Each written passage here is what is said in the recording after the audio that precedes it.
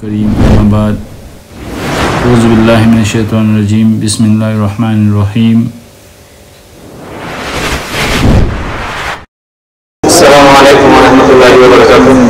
क्या कुरान समझना ज़रूरी है?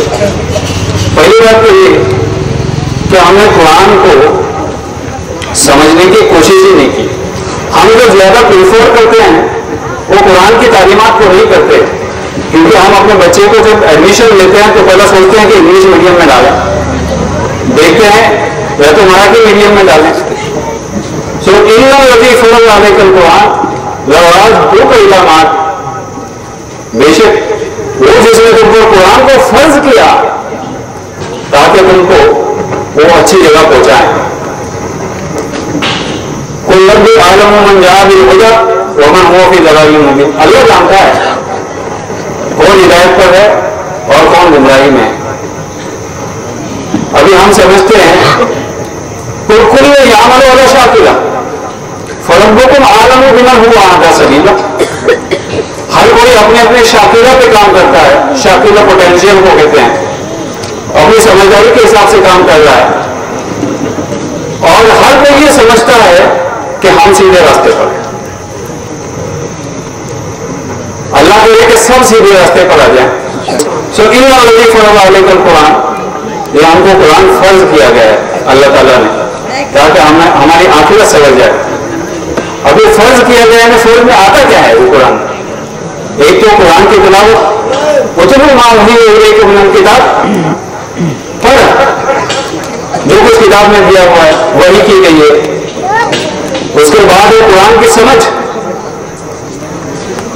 कुरान की समझ के लिए कहा इन अंजना कुरान अरबियन लाल लकुम ताकून हमने इस कुरान को नाजिल किया इसलिए कि तुम कौन कह रहे तुम समझो और कौन तुम यानी वो कौन उसने तुमको चुन लिया है किसलिए इस कुरान को पहुँचाने के लिए?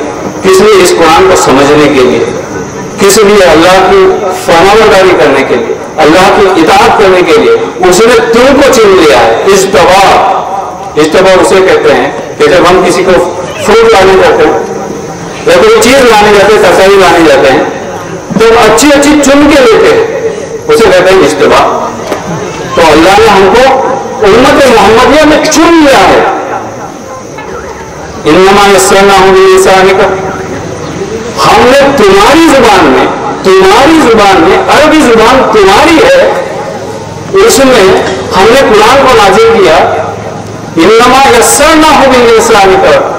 वो लितुबशर भी मुत्तकी, वो तुंजर भी कौन मुद्दा। हमने इस कुरान को नाजिल इसलिए किया है, आसान कर दिया है, ताकि तुम समझो। ताकि इससे बशारत दे दो, जो मुत्तकी है उनके लिए, और जो झगड़े कौन है उनको इंतज़ार करो, डराओ, डर सुनाओ अजाब का, कयामत का, जहन्नम का, डर सुनाओ सो लगी फौजा लेकर कुरान ये दूसरा हो गया कि हमको समझ के पढ़ना चाहिए। तीसरी चीज़ होती है कि हमें तबलीग करनी चाहिए।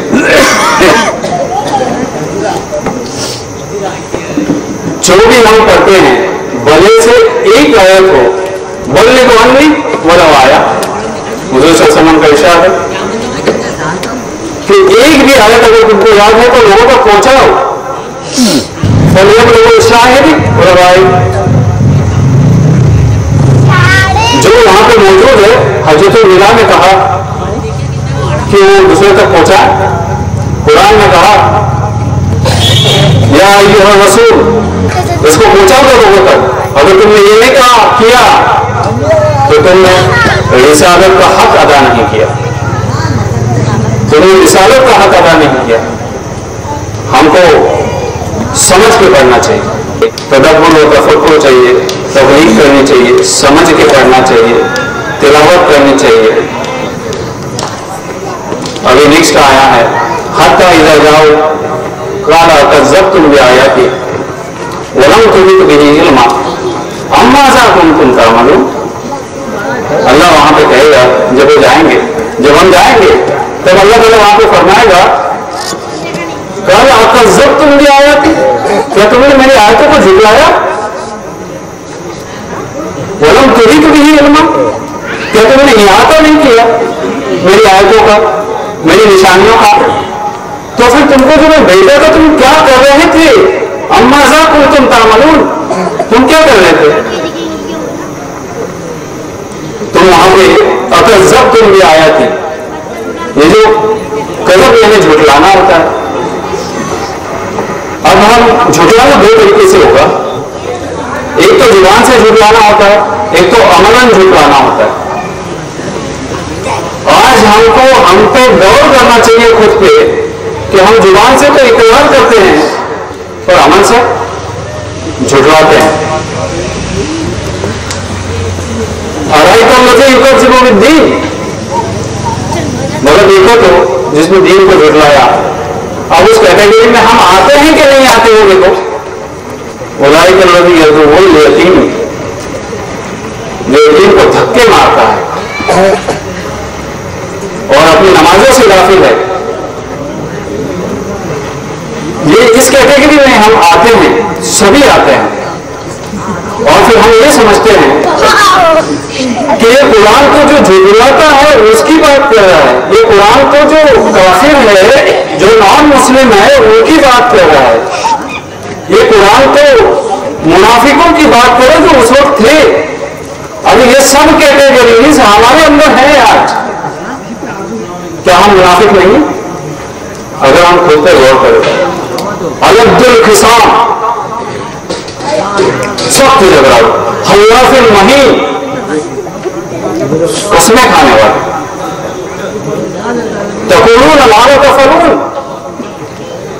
ये कहते हैं तो करते नहीं है, कि हम ये नहीं चुप करते सब चीज़ें।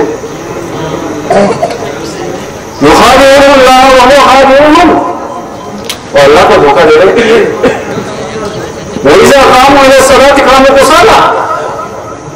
जब वो शराब के लिए खड़े होते हैं।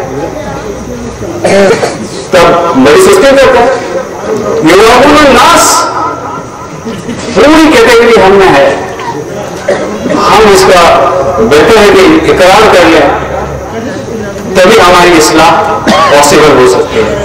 अम्मा जा तुम तुम दामलू तुम क्या कर रहे थे? तुम इन आयतों को समझने की कोशिश नहीं की।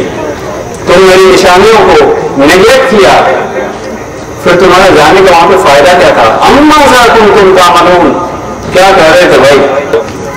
वही अजीम ऐसा जुब की रूबी आया कि रबिम लम यकिर सुमन नियाना। अल्लाह के बंदे वो कि जो अल्लाह की आयतें जब पढ़ी जाती हैं, तब वो बहरे अंधे होकर उस पर नहीं गिरते हैं। इसका मतलब वो उसकी तरफ़ अपना अटेंशन पे करते हैं। वही साहब कुरान। फ़र्स्ट कवियों लहू अनसितु लकुम तुरहमून। ये अनसितु क्या है भाई? ये अनसितु यानी बेहीर है। यू टू पे पे अटेंशन जो कुछ कहा जा रहा है। और ये पे अटेंशन तभी पॉसिबल है जब हम इस कुरान को समझे। हमको अरबी उतनी आनी चाहिए। कि कुरान की समझ आता हो जाए। हमें समझ आ जाए, जब कोई ज़िक्र करे कुरान का, जब कोई तिलावत करे कुरान की, तब तकशीर में वो ज़रूर लगी नहीं छो में बहुत उनके रोंगटे खड़े हो जाते हैं। जो अल्लाह से डरते हैं, जब अल्लाह का ज़िक्र किया जाता है उनके सामने तब। इन नमन लजीन ईदा जुक्र अल्लाह वजीरत करो वहू वही तुल यता आया तो वो ज़्यादा तुल ईमान अरे मोमिन की डेफिनेशन दिया है अल्लाह ताला ने मोमिन की डेफिनेशन वो है जो अल्लाह ताला ने सूर्य अंफाल में दिया है कि मोमिन वो है जब उसका ज़िक्र किया जाता है और उसकी आयतें पड़ी जाती है तो उनके रोंग भी खड़े हो जाते हैं क्या आज हम इस कैटेगरी में हैं अब ये महजूरी में तो क्या है कुरान से? क्यों अल्लाह की रहमतें हम पर बरसेगी?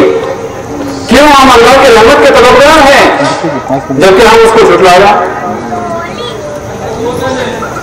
वलाकुतिल काफिरीन, मुजाहिदहुम बिही जिहादन कबीरा। सबसे बड़ा जिहाद अगर हमें करना है तो इस कुरान से कर सकते हैं। अल्लाह ने इसको जिहाद कबीरा कहा है।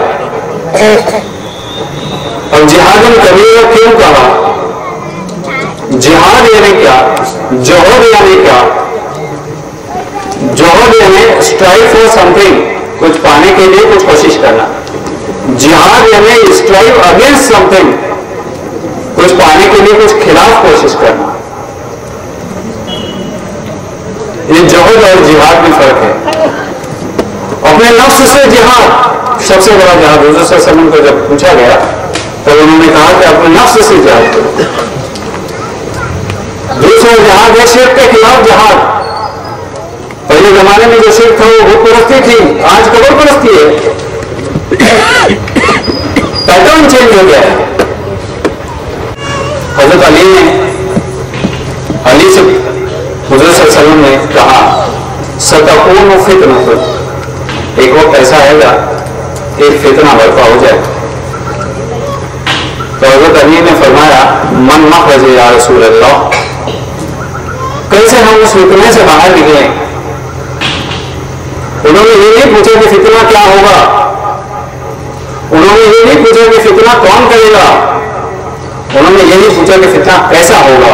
उन्होंने डायरेक्टली पूछा ट्रीटमेंट फॉर फितना हजूर ने कहा, किताबुल्लाह। मती। ये अल्लाह की रस्सी है, मज़बूत रस्सी है। वो सिरात मुस्तकीम।